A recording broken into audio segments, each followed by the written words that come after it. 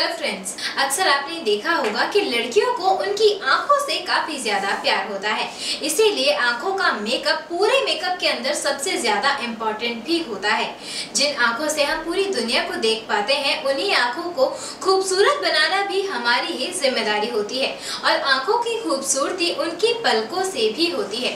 कई बार लड़कियों की आईलैश यानी कि पलकें उतनी अच्छी और भारी नहीं हो पाती हैं जितना कि उनकी डिज़ायर लेंथ होनी चाहिए।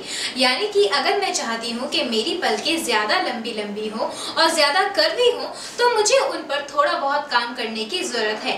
कुछ ऐसे घरेलू नुस्खे या फिर कुछ ऐसा बनाना पड़ेगा जिसकी वजह से हमारी आँखों को नुकसान भी ना पहुँचे और हमारी पलकें अच्छी बनती चली जाए।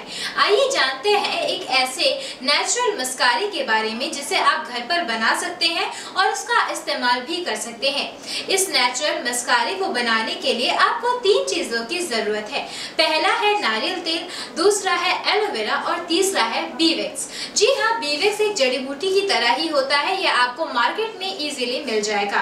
आप इन तीनों चीज़ों को अच्छे तरीके से मिक्स कर लीजिए और एक बर्तन में निकाल लीजिए।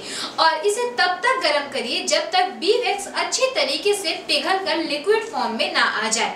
जब बीवेक्स अच्छे तरीके से पिघल जाए तो आप इसे मस्कारे की शीशी के अंदर भर लीजिए। ध्यान रखिए कि आप किसी पुराने मस्कारे के ब्रश का ही इस्तेमाल करें।